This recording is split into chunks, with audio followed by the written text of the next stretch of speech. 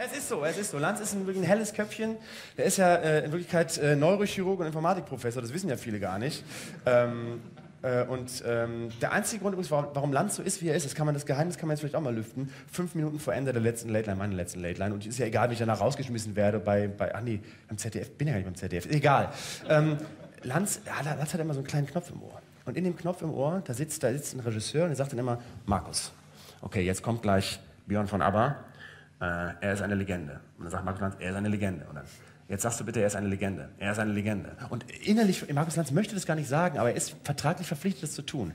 Markus, sag jetzt bitte ähm, Hallo und herzlich willkommen zu unserer Sendung. Markus, sag bitte Wow. Markus, sag bitte spektakulär. Und deswegen macht, deswegen macht er das. Ist wirklich. Und ich mal, war mal bei Markus Lanz und saß da ihm gegenüber. Und manchmal ähm, Manchmal ist es sogar so, dass Markus Lanz mit seinem Regisseur spricht, äh, während um ihn herum ein komplett anderes Gespräch äh, abgeht. Dann geht es zum Beispiel gerade, keine Ahnung, irgendwie, äh, irgendwie Brustkrebspatient oder irgendwie Hilfe, ich sterbe in zwei Tagen und sowas. Und dann guckt Markus Lanz irgendwie so, der Blick äh, flieht dann so leicht aus dem Gespräch raus.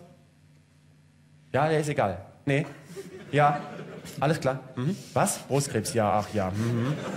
Ist wirklich so. Ist wirklich so. Aber so ist es beim Fernsehen.